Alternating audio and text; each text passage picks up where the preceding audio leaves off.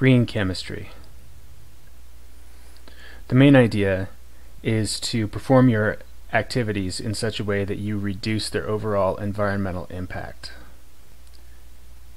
So you want to optimize your yields to get less waste. You want to perform your syntheses in such a way that you produce fewer toxic byproducts and you want to use less petroleum because that stuff is a limited resource and once it's gone, it is gone.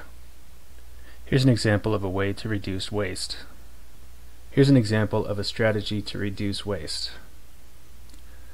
Let's say we've got this asymmetric trisubstituted alkene and we want to produce the Markovnikov alcohol.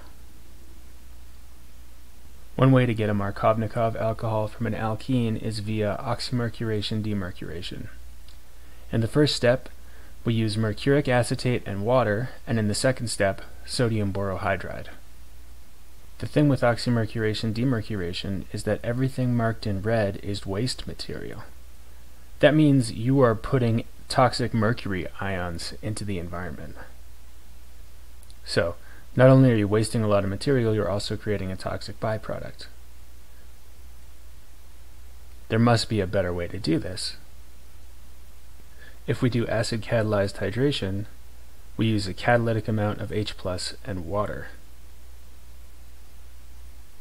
The only waste material is the catalytic amount of the proton, but it's a catalytic amount, so it's a super small amount. Also, no toxic byproducts. So oxymercuration demercuration has poor atom economy. Acid catalyzed hydration, on the other hand, has good atom economy.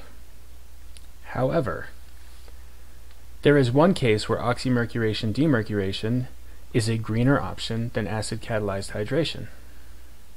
Say you were trying to do this synthesis. So maybe we should use acid catalyzed hydration. So in the first step, the pi bond acts as a base, taking a proton from the hydronium, and a secondary carbocation. That secondary carbocation will immediately undergo a 1,2 hydride shift. This rearrangement produces a tertiary carbocation. Water then performs nucleophilic attack at that tertiary carbocation, and then another proton transfer happens to deprotonate it, and you end up with this tertiary alcohol, which is the wrong product. So in this case, acid catalyzed hydration has essentially zero atom economy because of rearrangement. The point is one synthetic method versus another, well, if you have to decide what's the greenest, it is based on the context.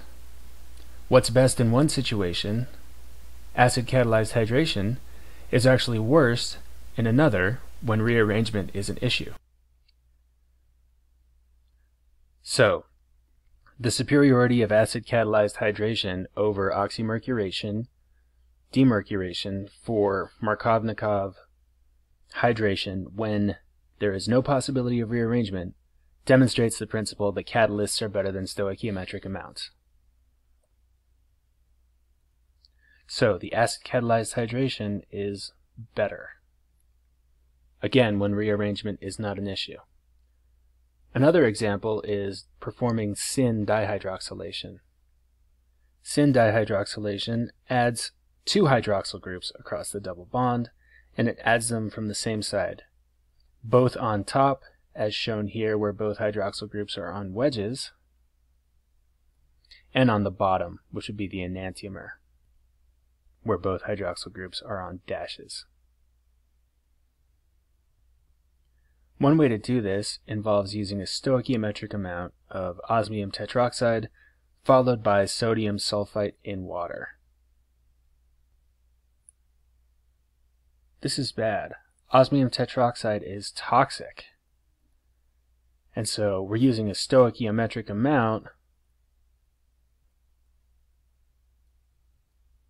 That means that we're releasing a bunch of OSO4 into the environment. There's a better process that's catalytic. The catalytic process involves using a catalytic amount of osmium tetroxide, so a much smaller amount of the toxic stuff, and then a stoichiometric amount of NMO or T-butyl hydroperoxide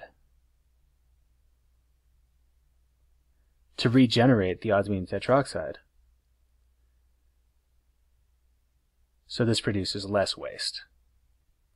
Okay, so catalytic is better than stoichiometric.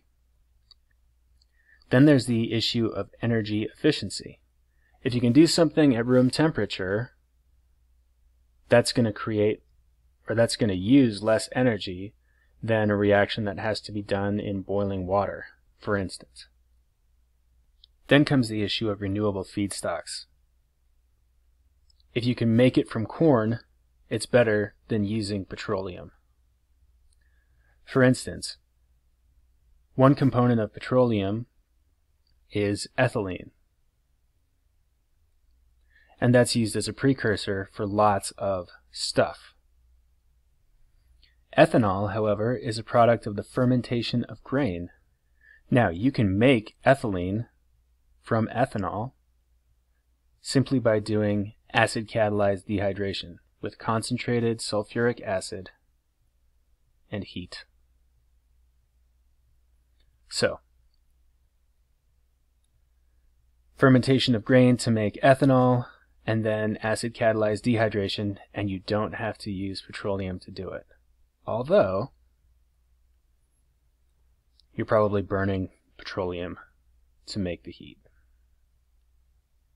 Still, we could set this up to use energy from the sun to heat the mixture, and then it would be much greener process.